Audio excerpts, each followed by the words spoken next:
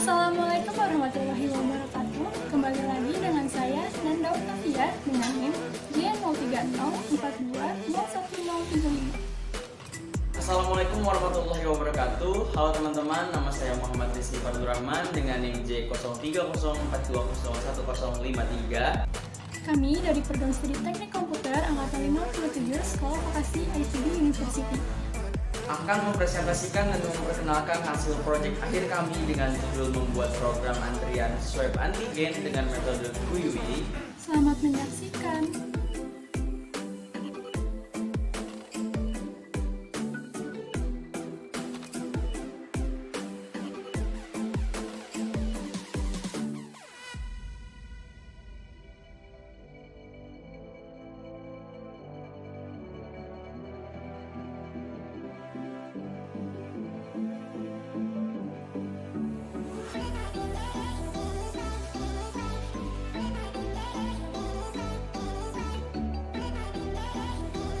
Oke, di dalam codingan ini terdapat pertama adalah fungsi underscore init, di mana fungsi underscore init ini terdapat sebuah cetak-cetakan karakter di mana ada nama antriannya itu adalah antrian swab test, antrian nama rumah sakitnya, kemudian ada tagline ataupun kalimat singkat mengenai seperti tetaplah menjadi pelopor kesehatan.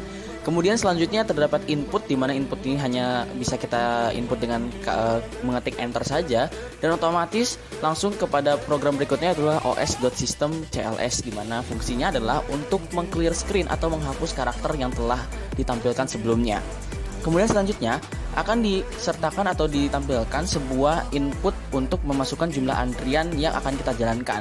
Antrian ini adalah antrian jumlah maksimal sehingga apabila misalkan N diisi dengan nilai 5 maka antrian hari ini ataupun antrian yang kuiwi ini dapat tampung adalah sebanyak 5 data. Kemudian di bawahnya juga terdapat semat seperti self.size sama dengan n, self.current size sama dengan 0, self.name, dan self.nick.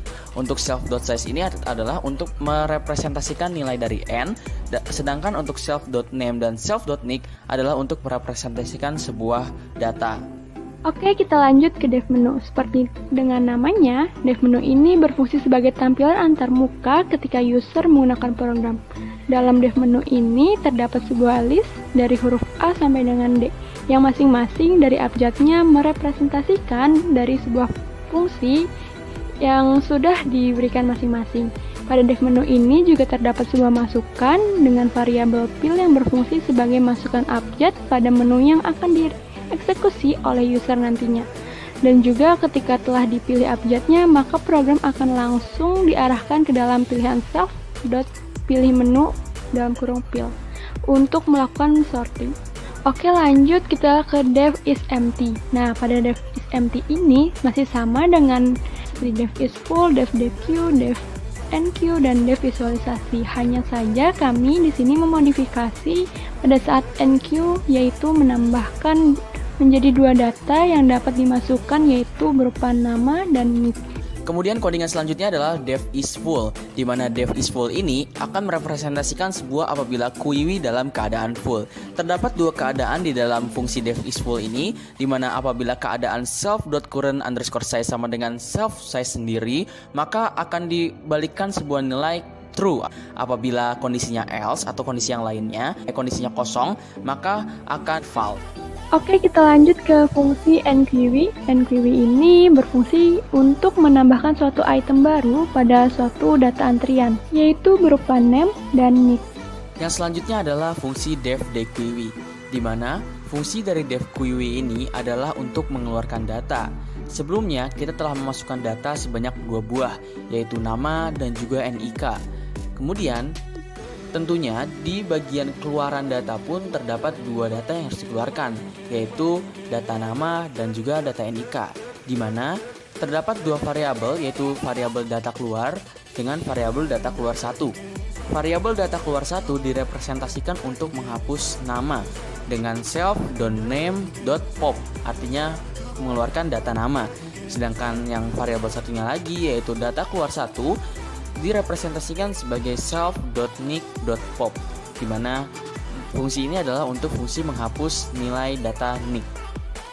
Selanjutnya di bawahnya juga terdapat self.current size len self.name dan juga self.current size len. Kemudian apabila eh, pengeluaran data telah sukses, maka akan ada pesan yaitu antrian selanjutnya atas nama yang data dikeluarkan dengan nick yang nick dikeluarkan tersebut. Kemudian ada pesan lagi yaitu dipersilahkan masuk ke dalam ruangan swab. Kemudian fungsi selanjutnya adalah fungsi visualisasi QWI, di mana apabila kita lihat fungsi dari visualisasi QWI ini tentunya sungguh sangat rumit apabila dilihat. Namun apabila dijelaskan secara singkat, tentunya fungsi ini intinya intinya ya satu aja sih, yaitu adalah untuk memvisualisasikan ataupun melihat ataupun menampilkan data dari QWI ini. Tentunya data yang ditampilkan adalah nama dan juga nick di mana terdapat jumlah posisi kosong untuk merepresentasikan self.size dikurangi dengan self.current size dan juga print-printan ataupun uh, seperti tab, spasi dan juga lainnya agar tabel ataupun visualisasi ini rapi. Oke, kita lanjut ke dev pilih menu. Nah, di sini fungsinya bertujuan untuk mensortir sebuah masukan yang telah diberikan oleh user. Nah, maksudnya adalah program ini nantinya secara otomatis akan mengetahui apa yang akan diinput oleh si user. Apabila inputan sesuai dengan yang ada atau terdaftar di suatu menu dan di kode program, maka selanjutnya program tersebut akan menampilkan atau mengeksekusi yang sesuai dengan yang diinput oleh si user. Namun, apabila user salah memasukkan sebuah perintah, maka akan terdapat pesan error yang diberikan oleh program secara otomatis dan akan diminta untuk menginput ulang. Fungsi selanjutnya adalah fungsi lihat data, di mana fungsi dari lihat data ini adalah untuk memanggil fungsi dari visualisasi QWI, di mana di dalam fungsi lihat data ini terdapat pesan di mana karakter pesan Anda berada pada menu menampilkan data dicetak dengan fungsi print.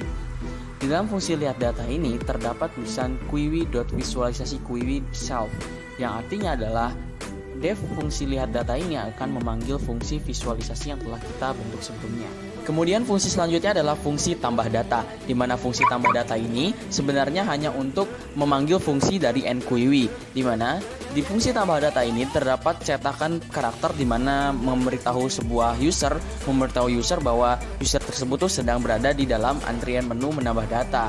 Dan juga di fungsi tambah data ini terdapat dua keadaan di mana apabila self is full ataupun QUery dalam keadaan penuh, maka akan mendapatkan pesan error di mana tulisannya adalah maaf saudara atau saudari tidak dapat ditambahkan karena batas antrian hari ini telah penuh. Namun apabila keadaannya kuiwi atau antrian masih kosong, maka dalam fungsi tambah data ini dapat menampung dua data yaitu data nama dan juga data nick. Di mana data nama dan data nick ini akan disalurkan ke dalam fungsi nQuery ataupun fungsi tambah data pada Quiwi. Oke, kita lanjut ke dev antrian selanjutnya. Nah, di sini sama seperti dev lihat data, dev antrian selanjutnya ini hanyalah sebagai fungsi untuk memanggil fungsi dequery. Dan juga untuk memberikan sebuah dua keadaan di mana apabila data masih kosong, maka akan diberikan sebuah tampilan informasi berupa pesan error. Oke, dilanjut dengan uh, if dengan nama underscore name underscore yang merupakan fungsi agar program yang kami jalankan ini uh, tidak akan langsung keluar. Dikarenakan kode program yang kami gunakan ini merupakan adaptasi dari kode program semester 1 yang merupakan proyek yang mengalami proses penyimpanan namun tidak terjadi penyimpanan seperti penyimpanan pada pada format TXT. Kode ini kami dapatkan dari Google sehingga kami belum mengetahui dengan pasti akan fungsi selanjutnya. Nah, berikut ini adalah tampilan codingan secara keseluruhan di mana terdapat dev menu, is empty, is full, and query, dequery, visualisasi, pilih menu, lihat data, tambah data, dan antrian selanjutnya. Kemudian, tahap selanjutnya adalah pengetesan codingan. Apabila kalian membuka menggunakan Genie, maka kalian bisa langsung mengklik sebuah tab icon di atas bertuliskan execute. Setelah kalian klik itu, maka kalian akan langsung ditampilkan ke halaman utama dari program yang kami buat, yaitu adalah tampilan judul dari program yang kami buat dengan nama rumah sakitnya. Kemudian apabila kita mengenter program tersebut, maka selanjutnya adalah kita diarahkan ke tab nama kelompok. Tab nama kelompok ini adalah eh, nama-nama e, yang membuat program ini tentunya adalah eh, nama-nama e, dari kelompok kita. Selanjutnya adalah e, membuat kapasitas dari e, menu yang ada. atau antrian yang ada. Apabila antrian hari ini misalkan dimasukkan adalah 5, maka maksimal jumlah antrian hari ini adalah sebanyak 5 antrian. Selanjutnya apabila kita telah memasukkan banyaknya ant maksimal antrian, maka tahap selanjutnya atau tampilan selanjutnya adalah tampilan dari menu program yang kami buat. Di mana di dalam menu yang program kami buat terdapat uh, sebesar sebanyak 4 menu, yaitu adalah melihat data antrian, menambah data, antrian keluar dan keluar dari program. Di mana misalkan di sini kita visualisasikan e, masukkan A maka yang tampilan keluar adalah tampilan dari visualisasi Quiwi sendiri. Kemudian misalkan di sini kita ingin menambah data maka kita bisa memilih menu bagian B di mana kita dapat memasukkan nama peserta. Contohnya di sini kita memasukkan nama pesertanya Udin misalkan ya. Kemudian masukkan nick pesertanya e, sesuai dengan KTP tentunya kalian masukkan. Dan setelah apabila sudah maka tinggal di enter saja. Maka antrian nama Udin dengan nick sekian sudah dimasukkan ke dalam antrian atau program Quiwi ini dan dapat kita konfirmasi dari melihat daftar menu atau bisa mengklik tombol A-nya. Kemudian langkah selanjutnya adalah menambah data baru lagi misalkan untuk antrian kedua di mana namanya bebas bisa kalian uh, visualisasikan uh, untuk tesma bebas aja kemudian nick jangan lupa nick sesuai dengan KTP maka antrian dengan nama dan nick tersebut sudah dimasukkan ke dalam antrian Kemudian di sini tentunya bisa kita konfirmasi lagi dengan melihat menu melihat daftar antrian atau visualisasi tadi dengan mengklik huruf A di menu. Kemudian selanjutnya adalah kita bisa menambah lagi data misalkan ini adalah data antrian ketiga soalnya tadi kita masukkan empat antrian. Misalkan di sini adalah e, nama baru lagi dengan nick yang baru lagi. Kemudian dengan mengklik enter maka e, berikutnya adalah sudah terdaftar lagi tampilan barunya kemudian apabila kita lihat e, daftar barunya sudah ada lagi di bagian A atau bagian menu A atau visualisasi kemudian apabila kita klik C maka data yang pertama atau yang tadi kita e, masukkan itu adalah Udin itu sudah masukkan lagi ya ke dalam e, sudah dikeluarkan maksudnya sudah dikeluarkan ke dalam visualisasi atau ke dalam antriannya. Jadi data Udin sudah tidak ada. Apabila kita mengecek dengan menggunakan e, lihat daftar atau visualisasi Quiwi pada menu bagian A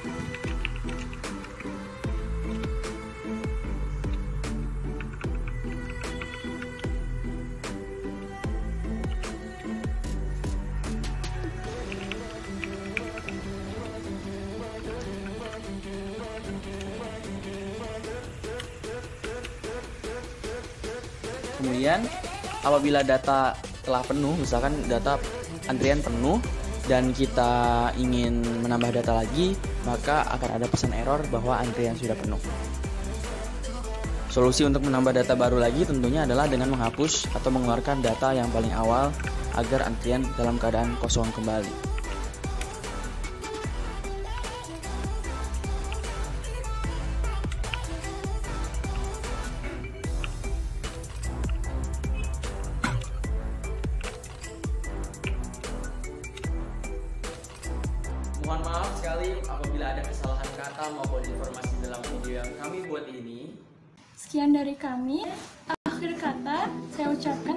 Kasih kepada teman-teman semua yang telah menonton video ini.